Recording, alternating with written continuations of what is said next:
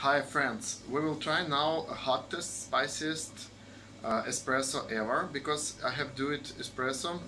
This espresso was uh, Carolina Carolina Reaper. This is hottest chili pepper ever. Uh, it is more than 1.5 million Scoville.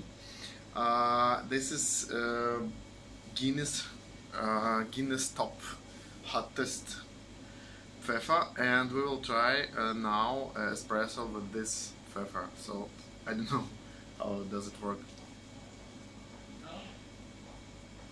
Mm. oh my god.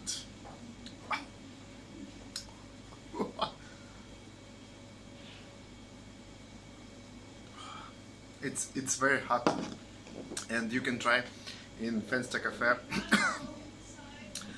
this uh, very hot very hot coffee.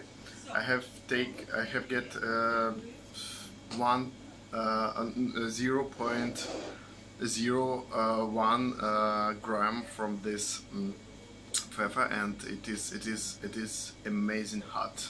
Try it